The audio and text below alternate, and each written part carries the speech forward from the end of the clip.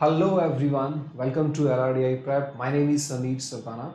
I'm a plus educator on Unacademy and I'm teaching students live on Unacademy Plus for CAT exam preparation. If you want to go for Unacademy Plus subscription, guys, you can use my referral code LRDI Prep, LRDI Sameer. Using this referral code, guys, you will get 10% off on Unacademy Plus subscription purchase price. LRDI Sameer is my referral code. In the in this session today, in this video, we are going to discuss a, a puzzle which is from the previous year CAT paper. It is called as Mastermind Leaked Paper Puzzle. बहुत ही अच्छा puzzle है मज़ा आएगा आपको इस puzzle करके. Uh, uh, it came in CAT 2003 and uh, a very very important set. इस तरह का set अगर आपने पहले नहीं किया हो it's really difficult to solve uh, in the exam in the given time frame right so पहली बार अगर आप ये set को solve करो तो थोड़ा difficult हो सकता है कि आपको आइडिया क्लिक नहीं करे you might not get to know कि फ़र्स्ट स्टेप क्या होगा। तो अगर पहले से पजल किया हुआ है और रिपीट हो गया so you will be able to solve it comfortably so it's important कि आप इसको एग्ज़ाम में पहले से करके जाएँ। Let's let's have a look at it guys directions आपको पहले रीड करनी है। इसमें पूरा स्टोरी दिया हुआ है और ये एक टेबल आपने को दिया so first let's read the story कि क्या है? स्टोरी पढ़ना बहुत इंपॉर्टेंट है बिकॉज़ उससे आपके एग्ज़ाम माइंड में एक स्ट्रक्चर बन जाएगा। You will be able to relate the different components आपको पता लगेगा कि डिफरेंट डिफरेंट कंपोनेंट्स को कैसे आपको कनेक्ट करना है। सो so, सबसे पहले आप इंस्ट्रक्शंस में थ्योरी को रीड की रीड करो। स्टोरी uh, uh, को रीड करो। एक बेसिक सा स्ट्रक्चर अपने माइंड में बनाओ सो so दैट आपको पूरा आइडिया लगे कि आगे अप्रोच कैसे करना है इसे। Now let's start reading the direction Uh, recently, the answer of a test held nationwide were leaked to a group of unscrupulous people, and the investigating agency has arrested the mastermind and the nine other people. So this uh, uh, nationwide एक test leak हुआ, right? There are nine person A B C D F G H I, and there's a one person who is called to be as a mastermind. Okay. Now interrogating them, the following facts have been obtained regarding their operation. Initially, the mastermind obtains the correct answer key. So सबसे पहले answer key जो मिला जो correct answer key है जिसके सभी answers correct है that person is a master mind all the others create their answer key from one or two peoples who already possess the same so बाकी के जितने भी लोग हैं, वो अपने answers are they are creating the answers from one or two sources right so this important point that you need to note down here एक point जो आपको यहाँ पे नोट डाउन करना है, अगर आप उसको नोट डाउन नहीं करो तो आप पूरे सेट में कंफ्यूज हो कि करना क्या है, या फिर छोटी गलती आप कर सकते हो, वो ये है कि maximum number of sources that a person can have is one or two so minimum one source होना चाहिए मैक्सिमम टू सोर्स होना चाहिए. It's not like that B as a person can take the answer key from A C and E no the maximum number of sources that B can have for his answer key is two इधर A B right A B से लो या B और ई से लो. B C और D तीनों से नहीं ले सकता. दो ही मैक्सिमम नंबर ऑफ़ पीपल्स हैं जो इसके source.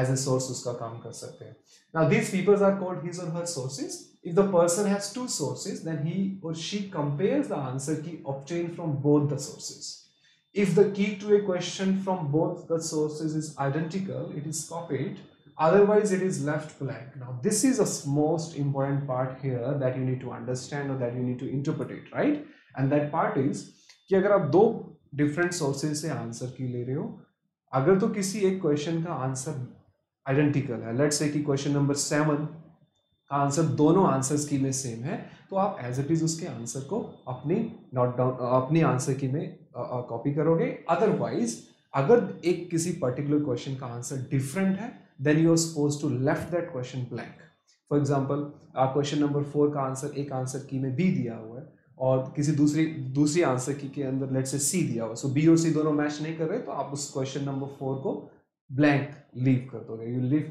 leave that question as blank that means उसका आंसर आप मार्क नहीं करोगे। If the person has only one source अगर एक ही सोर्स है then he or she copies the answers into his or her copy finally each person compulsorily compulsorily replaces one of the answer not a blank one with a wrong answer in his or her answer key. Every person has this compulsion of replacing the answer to a particular question uh, any one uh, any one particular question uh, with a wrong answer हर person को अपनी answer की के अंदर किसी एक question को गलत मार्क करना है लेट्स से कि जैसे मेरे पास आंसर की आया तो मैंने अपनी जो मुझे रॉन्ग आंसर्स मिलेंगे पीछे से वो तो लेने ही है मुझे as it is copy as it is अपनी नोट डाउन में अपनी अपनी आंसर की में कॉपी करने हैं बट मुझे अपनी तरफ़ से भी एक किसी क्वेश्चन को गलत मार्क करना होगा right the paper contain 200 question पूरे पेपर के अंदर 200 क्वेश्चंस हैं. So the investigative agency has ruled out the possibility of two or more of them introducing wrong answer because total number of person are nine so ये ऐसा possibility नहीं होगा कि दो पर्सन ने एक ही क्वेश्चन का गलत आंसर अपनी तरफ़ से मार्क किया. So they because the number of question available are two hundred so they are ruling out this possibility कि देर इज़ अ चांस कि दो लोगों ने एक ही क्वेश्चन को गलत आंसर मार्क किया। एक ही क्वेश्चन पे सेम एक ही पर्टिकुलर क्वेश्चन का गलत आंसर मार्क किया। So every person is introducing the wrong answer to different question right okay so ये सारा कहानी है जो आपको अपने माइंड में uh, uh, एक बेसिक स्ट्रक्चर जो है इसका आपको अपने माइंड में रखना पड़ेगा तभी आप सेट को सोल्व कर पाओगे अदरवाइज़ नहीं। The investigating agency has a copy of the correct answer key and has tabulated the following data so ये डेटा आपने आपने को दिया हुआ है इस डेटा के अंदर you have the wrong answers, right? You know कि A की आंसर की में 46 नंबर क्वेश्चन गलत है। ब्लैंक कोई भी नहीं है। बी की आंसर की में 96 नंबर गलत है। तीन ब्लैंक आंसर्स हैं। सी की आंसर की में दो wrong answer three blank D की आंसर की में एक गलत आंसर कोई भी ब्लैंक नहीं। ई e की आंसर की में दो ब्लैंक दो गलत आंसर कोई भी ब्लैंक नहीं। एंड सो ऑन अभी टेबल से आपको ये ऑब्ज़र्व करना चाहिए कि मास्टरमाइंड uh, के सारे आंसर्स करेक्ट हैं। Everybody is introducing wrong answer to a one particular question ये स्टोरी के अंदर दिया हुआ है। सो so, अगर कोई टेबल के अंदर टेबल से अगर मेरे को सेट सॉल्व करना शुरू करना है सो so आपको सबसे पहला पॉइंट ये ऑब्ज़र्व करना चाहिए दैट दोज पर्सन जिनका एक ही गलत आंसर है they must be taking the answer key from the master mind because her person को एक आंसर तो खुद से इंट्रोड्यूस गलत करना है। तो ए ने 46 किया। दैट मीन्स उसको कहीं से मिला नहीं। ए का एक ही क्वेश्चन गलत है तो दैट मीन्स ये 46 का 46 नंबर क्वेश्चन का गलत आंसर ए ने खुद ने इंट्रोड्यूस किया। सिमिलरली डी ने भी खुद ने इंट्रोड्यूस किया। जी ने भी खुद ने इंट्रोड्यूस किया। दैट मीन्स ए डी और जी को जो आंसर की मिली, उसके सारे के सारे क्वेश्चन एक्चुअल में करेक्ट थे और इन तीनों ने अपनी मर्ज़ी से एक एक गलत आंसर इंट्रोड्यूस किया और सारे आंसर करेक्ट तो मास्टर के पास है that means A, D, and G are taking the answer key from the mastermind. So now let's start solving the set. So आपको एक बेसिक सा स्ट्रक्चर बनाना है टू नो कि कौन सा पर्सन किसको आंसर की फॉरवर्ड कर रहा है। ये आपको एक पूरा बेसिक सा ट्री स्ट्रक्चर आपको बनाना है। So you will start from the master mind right so the first person is the master mind right so master mind के पास सबसे पहले आंसर की आया। And A B and G. These are the three person who are taking the answer key from the mastermind himself, right? So A ने भी mastermind से लिया, D ने भी mastermind से लिया और G ने भी mastermind से answer की लिया, right? So ये तो अपने को टेबल को देख के ही ऑब्ज़र्व हो जाएगा okay now once you know कि ए डी जी ने ए ने क्वेश्चन में 46 नंबर आंसर गलत इंट्रोड्यूस किया डी ने अपनी आंसर की में 17 नंबर क्वेश्चन का गलत आंसर डाला एंड जी ने 25 नंबर क्वेश्चन का गलत आंसर डाला. सो नाउ यू सी आपको नेक्स्ट ऐसा पर्सन देखना चाहिए जिसमें 46 या 25 या 17 में से कोई एक क्वेश्चन गलत हो। तो इतनी कोई बड़ी टेबल तो है नहीं, आपको ध्यान से दिख जाएगा। आप देखो, एक नज़र में आपको दिख जाए कि ई e जो है ई e के दो क्वेश्चंस गलत हैं 46 और 90 और 46 का गलत होने का रीजन तो एक ही आंसर की हो सकता है। और 90 एक तो उसने खुद ने भी इंट्रोड्यूस करना है। ब्लैंक आंसर उसका कोई है नहीं। दैट मीन्स उसके पास दो सोर्सेज तो नहीं होंगे। बिकॉज़ ब्लैंक आंसर्स का ऑप्शन तभी होगा जब आपके पास दो आंसर की हो और एक क्वेश्चन का आंसर मैच नहीं कर रहा हो। Right right? तो एक ई e का ब्लैंक आंसर नहीं होने का रीजन ये है कि उसका एक ही सोर्स होना चाहिए। और एक ही सोर्स होना चाहिए और बिकॉज़ उसका 46 नंबर क्वेश्चन गलत है तो उसका सोर्स ए ही हो सकता है। Because A is a person who is introducing the wrong answer to question number 46 So can I say E must be taking his answer key from the person A, जिसकी वजह से उसका भी 46 number question गलत हुआ और 46 गलत होने के बाद 90 उसने खुद से इंट्रोड्यूस किया ब्लैंक तो उसका कोई आंसर है ही नहीं। नाउ इसके बाद आपको H भी देखना चाहिए। H का भी 46 नंबर क्वेश्चन गलत है। H का 46 नंबर क्वेश्चन गलत होने का रीजन भी ए ही हो सकता है। Okay okay. क्यों ई e क्यों नहीं हो सकता? अगर ई e भी होता तो फिर उसका 90 भी गलत होना चाहिए था। उसका 90 गलत नहीं है 46 गलत है और 92 एक तो उसने खुद ने इंट्रोड्यूस किया होगा। सो so, इसका मतलब ए अपनी आंसर की एच को भी दे रहा होगा right so H is also taking the answer key from A जिसकी वजह से उसका 46 नंबर क्वेश्चन गलत हुआ और 92 उसने खुद ने इंट्रोड्यूस किया। Right next point that you need to note down here now is so so, अपने पास A D E G H का तो काम हो गया। Now we are left with B C and F okay so अभी देखो ध्यान से एफ़ के अगर आप आंसर्स देखो तो उसका 46 नंबर क्वेश्चन गलत है। 14 उसने खुद ने इंट्रोड्यूस किया। अभी उसके दो ब्लैंक आंसर्स है 92 एंड 90 92 और 90 का ब्लैंक होने का रीजन सिर्फ़ ई e और एच की आंसर की ही हो सकता है। बिकॉज़ ई e का 92 नंबर क्वेश्चन करेक्ट है बट 90 गलत है. एच का 92 गलत है बट 90 करेक्ट है. दैट मीन्स 90 और 92 के डिफरेंट आंसर ई और एच की आंसर की में ही होंगे. सो कैन आई से इन दोनों से ई e और एच दोनों से राइट right, जो आंसर की लिया that person that person is that person is F so F is taking the answer key from E and H और बिकॉज़ 46 इनका गलत था तो 46 इसका भी गलत आया. और 46 आंसर गलत है बट दोनों में आंसर सेम है। सो एज इट इज़ ये आंसर एफ़ को भी पास ऑन हो जाएगा। और 14 उसने खुद से इंट्रोड्यूस किया होगा।